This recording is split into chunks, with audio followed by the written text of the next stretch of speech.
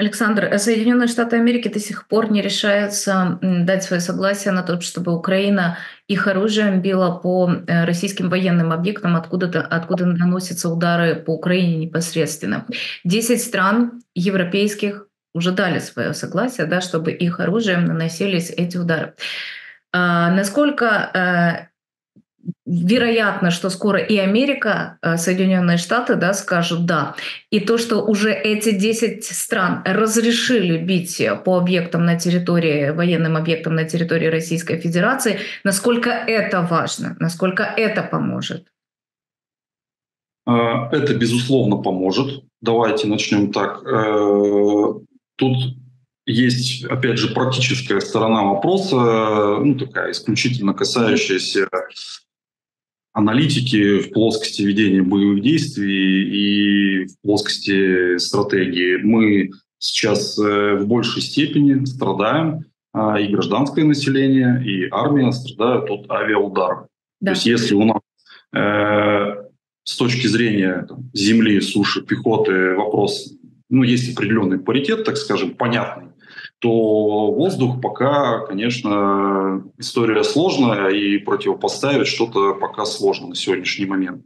Да, есть там системы э, ПВО, есть что-то еще, но этого всегда не хватает. А у России достаточно большой пока что ави авиапарк и э, тех же самых э, фабов, которые переделывают в кабы и кучу разных еще других э, устройств у них достаточно много. Поэтому нужен определенный паритет в воздухе, ну, естественно, желательно в нашу пользу. Вот, поэтому удары по военной инфраструктуре на территории Российской Федерации, прежде всего по авиационной, они необходимы, они нужны. В этом э, залог, в том числе, победы.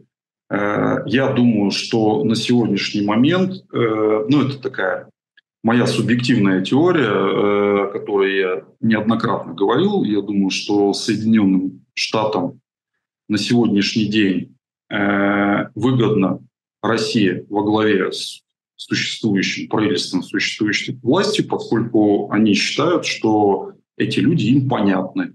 Угу. Да, это диктаторы, да, это преступники, да, это злодеи, убийцы, но это люди известные, они понятны, понятно, как с ними работать. Если эти люди исчезнут, то начнется неконтролируемый хаос, который будет, скорее всего, хуже, чем то, что есть сейчас. Э, я считаю, что ошибка здесь в этом уравнении кроется в том, что Запад думает, что эти люди понятны и как-то контролируемы. А, а эти люди знают об этой истории и этим пользуются, естественно. Вот и все. Но да. рано или поздно э, Российской Федерации придется конфликт эскалировать для того, чтобы власть держалась на плаву, для того, чтобы экономика держалась на плаву, им придется расширять конфликт, и в это могут быть втянуты и страны Балтии, и кто-либо еще, и уже, наверное, будет поздновато принимать решения, кто на самом деле плохой, кто хороший, кто контролируемый, кто нет. Поэтому я, я думаю, что мысль это есть, она еще не окончательно сформирована, но все идет к этому. Ну, тянут, тянут, тянут, как с этой помощью, тянут, тянут, тянут. В итоге, ну, мне кажется, да, если проанализировать, как все было до этого, ну, они в итоге разрешат но опять-таки хороша ложка к обеду, но Великая Британия уже сказала да, Швеция сказала да, Франция сказала да, Чехия сказала да, я сейчас вот боюсь ошибиться, но страны Балтии, понятно, сказали да, они понимают, что они следующие, и Польша сказала да. Вот, а поэтому, в принципе, да, у нас так приоткрытое окно возможностей, но плюс не забываем про наши беспилотники, которые обескравливают их технику, да, и удары приходятся по нефтебазам. А, напоминаем, что это украинские беспилотники украинского производства. В то же время Россия безбожно бомбит Харьков. Авиабомбы, ракеты, они прилетают ежедневно по несколько раз в многострадальный Харьков.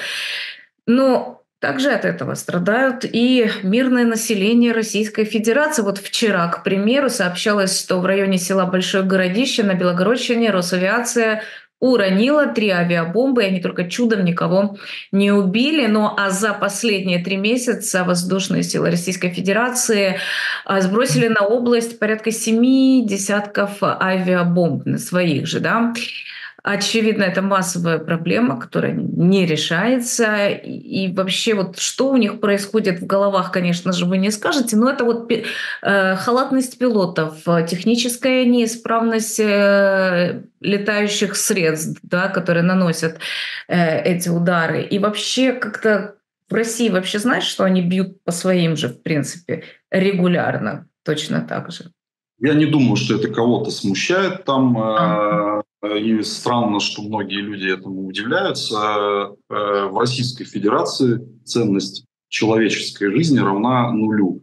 Мы это можем видеть, э, наблюдая э, то, как ведут себя солдаты армии Российской Федерации, как ведет себя их командование, что там происходит. Мы это понимаем, прекрасно общаясь с большим количеством пленных, которые рассказывают, через Э, что они прошли, находясь э, в рядах совет... Э, российской армии.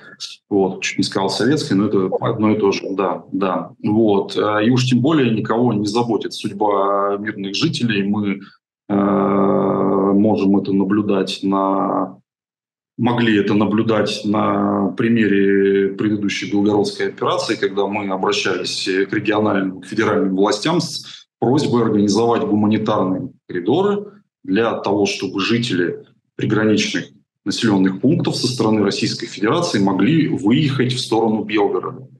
И в итоге эвакуацией жителей занимались мы. А ими не занимались ни региональные власти, ни федеральные власти. Им было просто наплевать.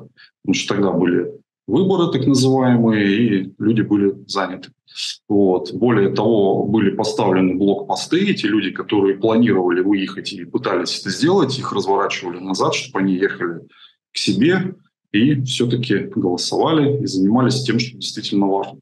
Поэтому ничего удивительного нет. Я думаю, что это комплексная история. Во-первых, это э, абсолютно наплевательское отношение к армии и к населению. Это, конечно, безусловно, и технические вопросы, это вопросы устаревшего оборудования, это вопросы качества пилотов. Ну, то есть это большая комплексная проблема, но э, для них этой проблемой не является. И подобные истории будут происходить и происходить и чаще, и в более страшных э, масштабах э, жертвами. Ну, ничего удивительного нет. Ну, как бы, да, за что боролись.